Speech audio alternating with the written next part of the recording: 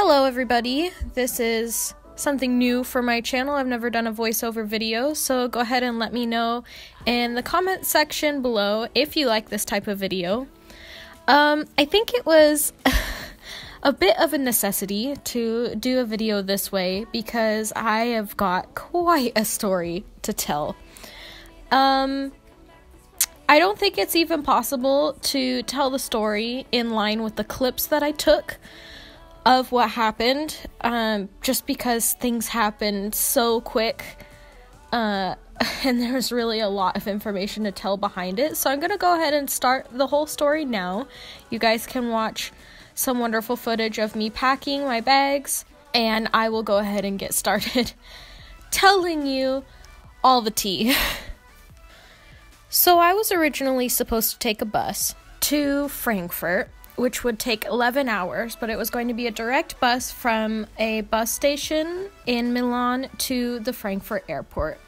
Then I had an eight hour layover in Frankfurt airport before I needed to board my plane. So, about five hours before I needed to check my bags. Because it's an international flight, they tell you to be there three hours early. That flight was going to take 11 hours, and then I was going to arrive in Portland and I live almost to Canada in Washington, and so going to Portland was really not ideal.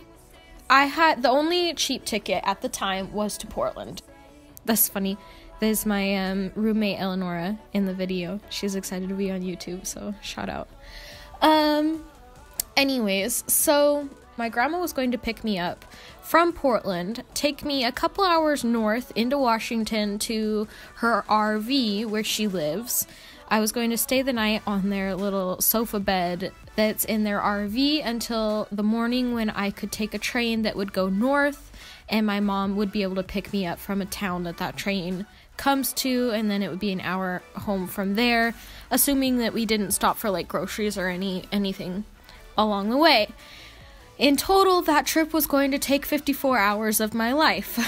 it doesn't seem like that when you look at it on a calendar because of the time difference, because I would take off at 2 and I land at 4, and so I almost have a half a day that just disappears. But for me, being in transit was going to be 54 hours. Based on how I'm talking to you guys, I think you guys can realize that that did not happen because um, I ended up spending five hours on the side of an Italian freeway broken down. My bus, I rode with Flixbus, which I've ridden with a million and one times before, and they've always been wonderful. I've ri- I took my entire backpacking Italy trip with Flixbus, and they're is a bunch of blog posts about it if you want to know exactly how I did it and where I went and all that kind of stuff. You can check out my blog, which will be in the description box. Um, and also, there is a post about exactly why I'm moving home, also, will be linked in the description box below in case you're wondering exactly why I'm going through all of this hassle. Um, anyways, so yes, I have two suitcases. Um, they were supposed to be 46 kilos total together, and they were 52. um, spoiler alert the guy in Frankfurt did not even charge me for overages, which was so nice of him after all of the chaos I'm about to tell you. Like, it's so nice of him that he didn't charge me for baggage overages, even though I was so grossly over. Um, yeah, so I have these two bags and a carry-on in a backpack, like a purse backpack.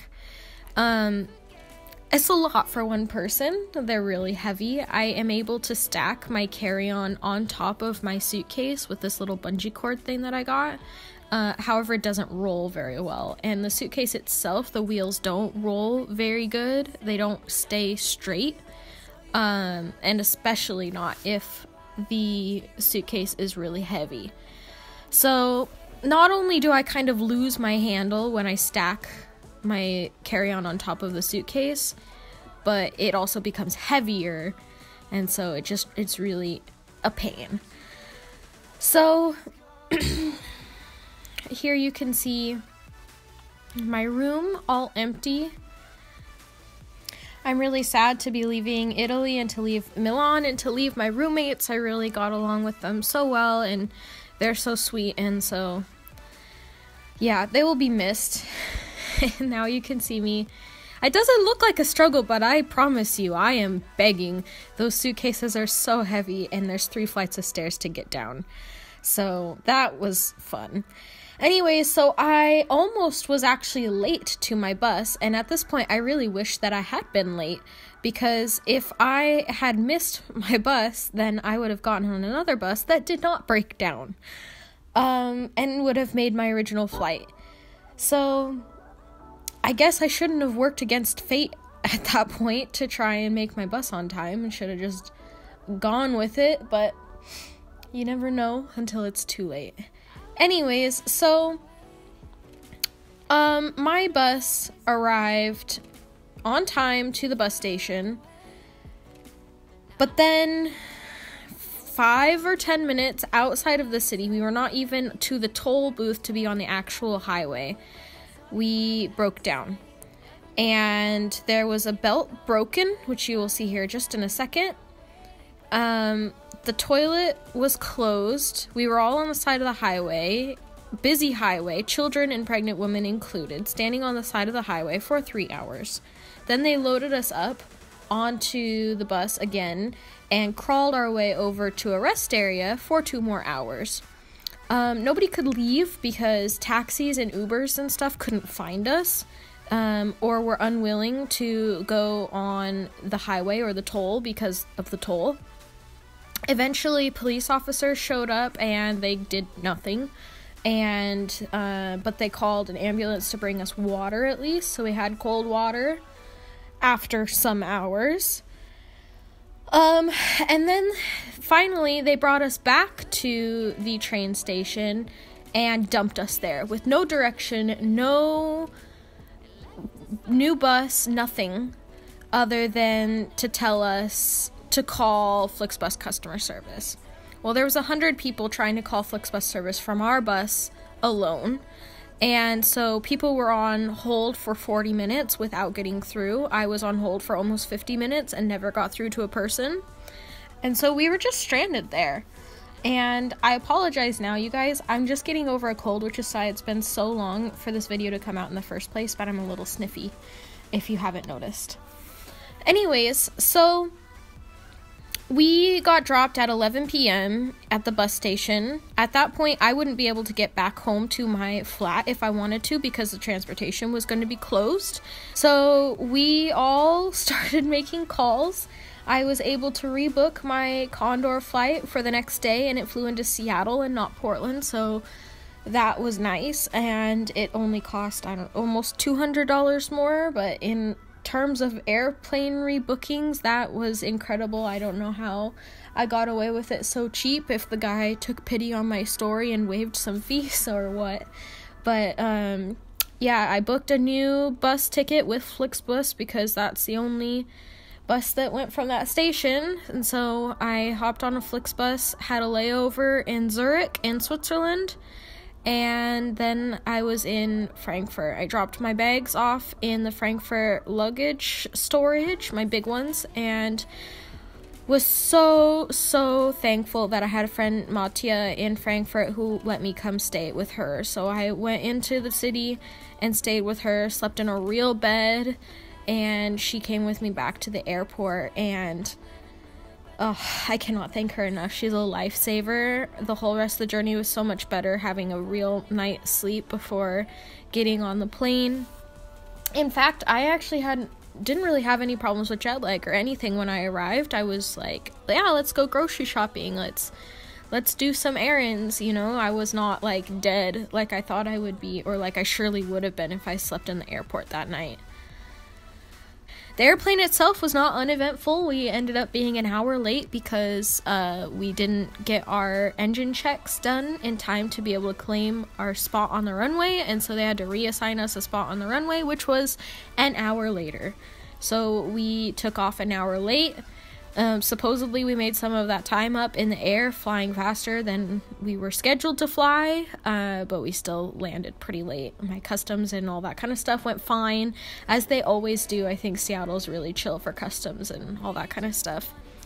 Uh, and I was reunited with my mama, and then we were we drove home and got some groceries, like I said, and yeah, I've been home now for about a week. It was not like coming home, it was like moving into a new room again because I was only there for a short time during Christmas where I was able to like actually unpack it because my parents moved. So Christmas was the first time that I had ever been to this house. It was a completely other side of the state, like 9 hours away from where they lived before. So that was really fun.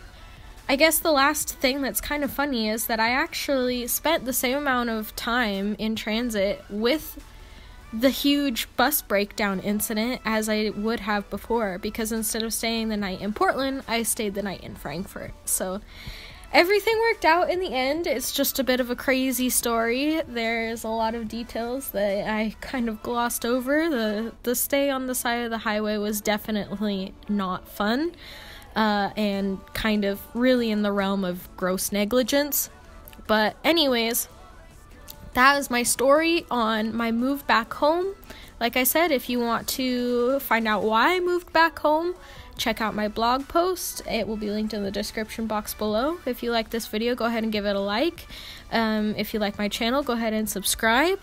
Uh, follow me on all of my social media. I am most active on Instagram. If that's your thing, definitely give me a follow there. I post almost every day. And yeah, looking forward to new and exciting things to come. Hope you all enjoyed and see you later.